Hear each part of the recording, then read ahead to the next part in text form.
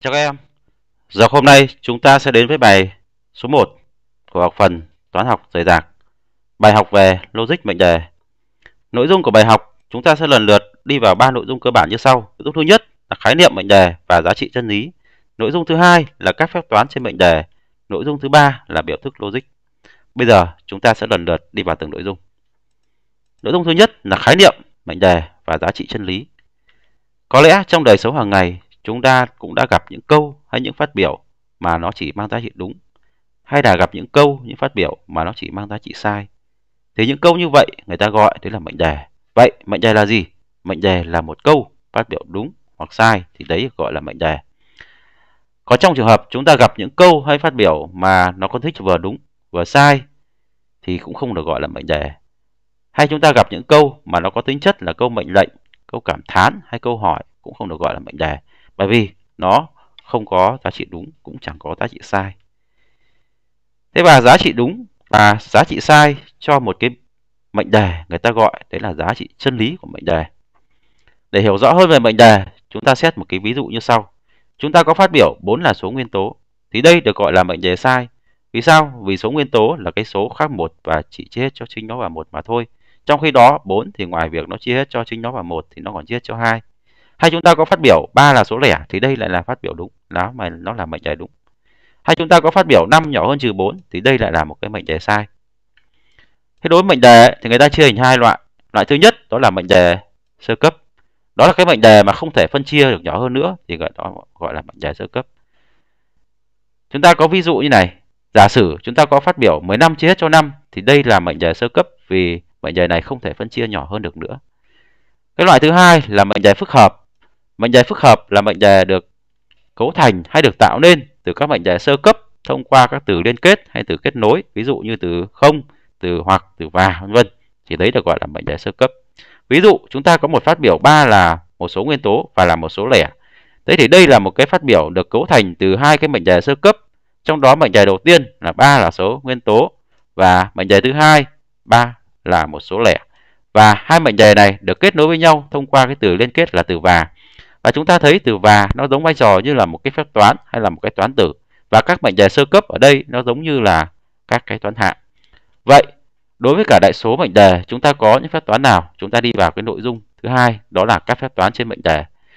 Có lẽ ở trong chương trình phổ thông chúng ta cũng đã biết à, đến biểu thức số học. Ở biểu thức số học chúng ta thấy nó cấu thành lên từ hai cái thành phần đó là toán hạng là các con số và toán tử là các phép toán như cộng trừ nhân chia. Vậy trong đại số mệnh đề với mỗi biểu thức thì nó cũng đóng vai trò như là một kiểu thức số học vậy. Nó cũng có toán hạng là các mệnh đề và có toán tử là các phép toán trên đó, các phép toán trên mệnh đề.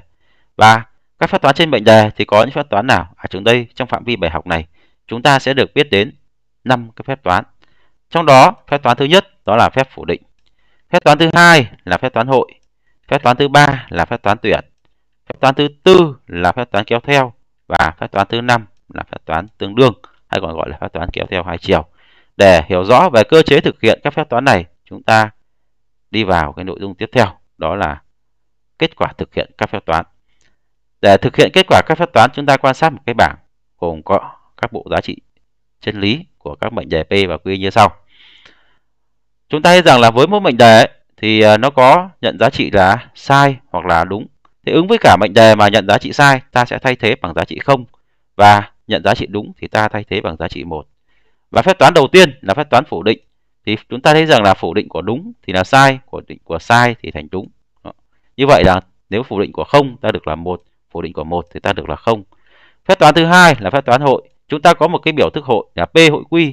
Thì phép toán hội này nó chỉ cho chúng ta giá trị đúng khi tất cả các mệnh đề trong đó mang giá trị đúng. Còn ngược lại thì cho chúng ta giá trị sai. Phép toán thứ ba là phép toán tuyển. Với phép toán tuyển thì phép toán này nó chỉ có thể nhận giá trị sai khi tất cả các biến mệnh đề trong biểu thức tuyển có giá trị sai. Còn ngược lại, chỉ cần một trong các mệnh đề có giá trị đúng thì biểu thức tuyển còn đang có giá trị đúng. Phép toán thứ tư là phép toán kéo theo. Với phép toán kéo theo thì ở đây ta giả sử chúng ta có biểu thức là biểu thức P kéo theo Q, thì trong đó P người ta gọi đấy là tiền đề và Q thì được gọi là hệ quả. Thế và với biểu phép toán kéo theo thì cái biểu thức này nó chỉ có thể nhận giá trị sai khi mà tiền đề đúng và hệ quả là sai. Thế còn trong ngược lại, các trường hợp ngược lại còn lại là mang giá trị đúng. Phép toán thứ năm là phép toán tương đương. Với phép toán tương đương thì giả sử chúng ta có biểu thức là P tương đương với Q thì cái biểu thức này nó chỉ có thể nhận giá trị sai khi và P khác Q. Thế còn trong trường hợp P bằng Q thì biểu thức tương đương cho chúng ta giá trị đúng. Chúng ta thấy ở trong biểu thức ờ, số học thì chúng ta thấy có những phép toán như là cộng trừ nhân chia. Thế thì thứ tự ưu tiên của phép toán thì được thứ tự là nhân chia trước, cộng trừ sau. Thế vậy thì trong một cái biểu thức mà có toán hạng là các mệnh đề, các toán tử có thể các là các cái phép toán khác nhau thì cái thứ tự ưu tiên thực hiện chúng ta thực hiện như thế nào? Đương nhiên, đầu tiên là chúng ta cứ thực hiện là từ trái qua phải của biểu thức đó. Tuy nhiên chúng ta cần phải quan tâm tới cái tính thứ tự ưu tiên của phép toán để mà thực hiện làm sao cho cái kết quả thực hiện nó chính xác nhất. Và thứ tự ưu tiên là chúng ta thực hiện theo thứ tự như sau. Đối với cả phép toán phủ định bao giờ cũng là phép toán có mức độ ưu tiên cao nhất, sau đó đến phép toán hội và phép toán tuyển, rồi đến mức ưu tiên cuối cùng đó là phép toán kéo theo và phép toán tương đương. Để hiểu rõ hơn về cơ chế thực hiện phép toán và thứ tự ưu tiên các phép toán, chúng ta xét một cái ví dụ như sau. Giả sử chúng ta cần tính giá trị của biểu thức là phủ định của x tuyển y kéo theo x của y. Trong đó x của ta là một cái mệnh đề được phát biểu là 4 lớn hơn 3. Y là một cái mệnh đề được phát biểu là 4 là số nguyên tố. Thế thì để tính giá trị biểu thức này chúng ta thấy trong biểu thức chúng ta có các cái phép toán là phép toán tuyển, kéo theo và tân hội. Cho nên chúng ta cần phải xác định được cái thứ tự ưu tiên của các phép toán để mà tính toán. Thế đầu tiên là chúng ta cứ tính phủ định của x. à, sau đó chúng ta tính tuyển với cả y. Nhưng mà trước khi tính tuyển y chúng ta xem là đứng sau y là phép toán nào. À đứng sau y là phép toán kéo theo. Chúng ta so sánh phép toán tuyển phép toán kéo theo. Chúng ta thấy phép toán tuyển có mức độ ưu tiên cao hơn. Cho nên chúng ta tính phủ định của x y trước. Sau đó chúng ta thực hiện phép toán kéo theo. Nhưng chúng ta quan sát sau toán hạng x sau mệnh đề x gì là phép toán hội thì phép toán hội là có mức độ ưu tiên cao hơn phép toán tuyển cho nên chúng ta phải thực hiện là x hội y trước Thế đây chúng ta đã có được cái thứ tự tính toán của các phép toán rồi thì chúng ta sẽ thay thế giá trị của các cái biến x của các cái mệnh đề x gì và y vào. x của ta là một cái phát biểu 4 hơn 3 nên mang giá trị đúng. À, cho nên chỗ nào mà có x thì ta thay bằng một vào. Còn đối với y phát biểu là 4 là số nguyên tố, đây là một cái phát biểu sai, nó là mệnh đề sai. Cho nên chỗ nào có y ta thay bằng không vào. Sau đó là ta thực hiện tính phủ định của x, phủ định của 1 tuyển với 0 và ta được kết quả là 0. Tiếp theo là ta đính ờ, uh, 1 hội 0 thì ta được kết quả là 0. Sau đó ta thực hiện phép toán kéo theo 0 kéo theo 0, chúng ta thu được kết quả là 1.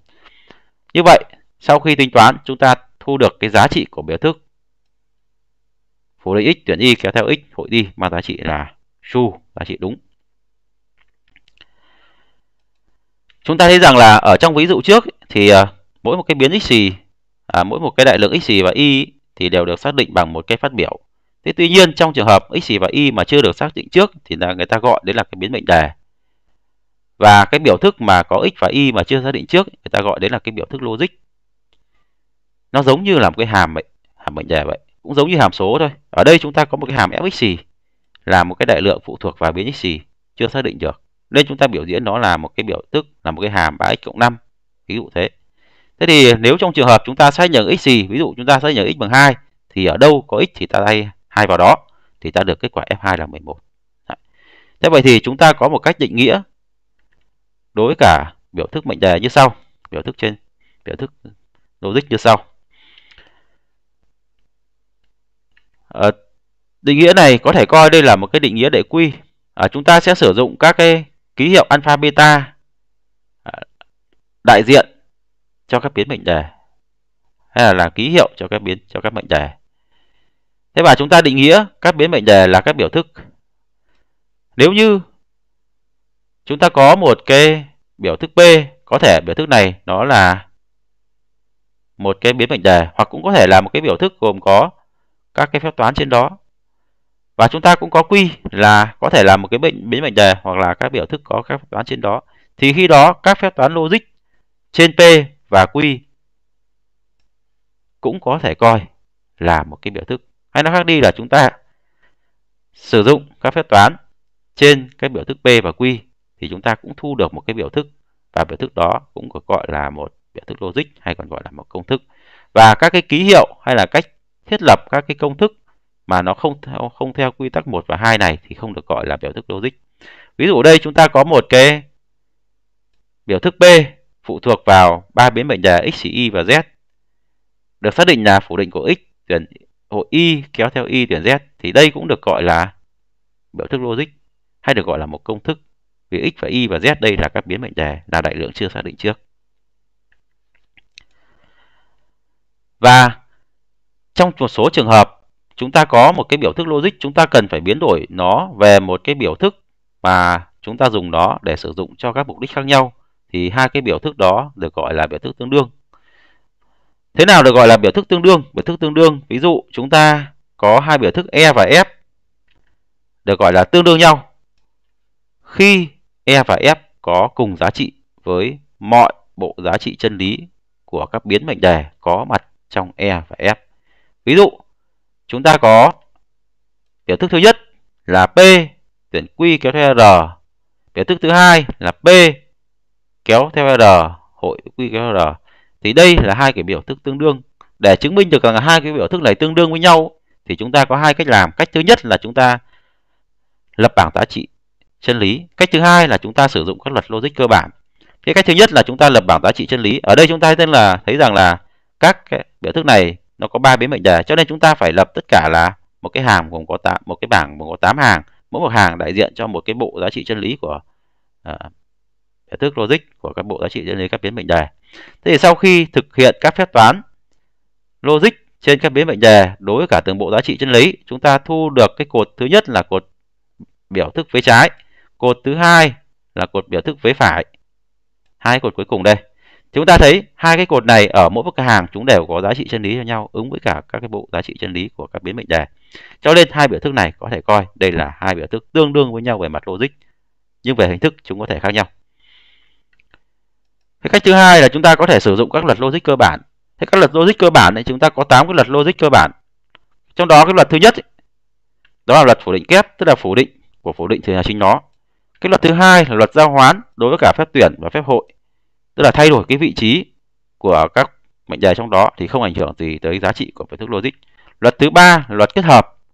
À, kết hợp đối với tuyển và phép hội. Tức là trong mỗi một biểu thức tuyển hoặc là biểu thức hội chúng ta kết hợp tính nhanh nào trước cũng được tính được kết hợp mệnh các mệnh đề nào trước cũng được không ảnh hưởng tới giá trị chân lý của các biểu thức đó. Luật thứ tư là luật phân phối.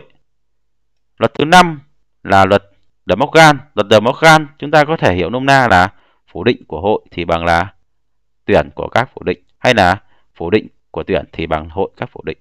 Thế rồi, luật thứ sáu đó là luật về mối quan hệ giữa mệnh đề với mệnh đề, mệnh đề với phủ định của nó, mệnh đề với hàng không hay là phủ mệnh đề với hàng một. Rồi luật tiếp theo là luật kéo theo, luật số 7 luật kéo theo. Tức là cái luật này sẽ sử dụng để chúng ta phá vỡ cái phép toán kéo theo. À, P kéo theo Q thì có thể viết tương đương là phủ định của P tuyển Q hay luật thứ 8 là luật tương đương. Để hiểu rõ về các phép toán này, để hiểu rõ về các luật logic này, chúng ta hoàn toàn ờ, có thể chứng minh nó bằng cách chúng ta lập bảng giá trị chân lý để chứng minh được cái sự tương đương của chúng trong mỗi một cái luật. Sau đây chúng ta xét một cái ví dụ để vận dụng các cái luật logic cơ bản để biến đổi tương đương. Chúng ta vẫn xét ví dụ trên để chứng minh tương đương cho hai biểu thức logic. Thế và chúng ta thấy rằng là uh, P mà tuyển với Q kéo theo R thì áp dụng luật uh, kéo theo luật số 7 chúng ta đưa về phủ định của P tuyển Q tuyển R. Tiếp tục chúng ta áp dụng luật De can, chúng ta đưa về dạng là phủ định của P hội phủ định của Q tuyển R. Tiếp tục chúng ta áp dụng luật phân phối chúng ta thu được là phủ định của P tuyển R hội với cả phủ định của Q tuyển R. Sau đó chúng ta áp dụng luật số 7 luật kéo theo để chúng ta đưa về phía phải. Thế trên đây là một cái ví dụ để minh họa cho cái việc, việc mà chúng ta vận dụng các luật logic cơ bản trong các việc à, biến đổi tương đương các biểu thức logic. Thế như vậy, nội dung của bài hôm nay chúng ta cần nắm ba cái nội dung cơ bản như sau. Thứ nhất là chúng ta cần phải nắm được khái niệm thế nào là mệnh đề và giá trị chân lý và phân loại được các cái mệnh đề gồm có mệnh đề sơ cấp và mệnh đề phức hợp. Tiếp theo là chúng ta cần phải nắm được các phép toán trên mệnh đề và tứ tự thực hiện ưu tiên các phép toán đó. Cuối cùng là chúng ta nắm được khái niệm thế nào là biểu thức logic và các cái luật logic cơ bản để có thể biến đổi tương đương các phép toán logic, các cái biểu thức logic về những cái dạng biểu thức mà chúng ta cần sử dụng nó cho các cái mục đích khác nhau. Thế giờ học hôm nay chúng ta tạm dừng ở đây. Chào các em, hẹn gặp lại các em trong các giờ học lần sau.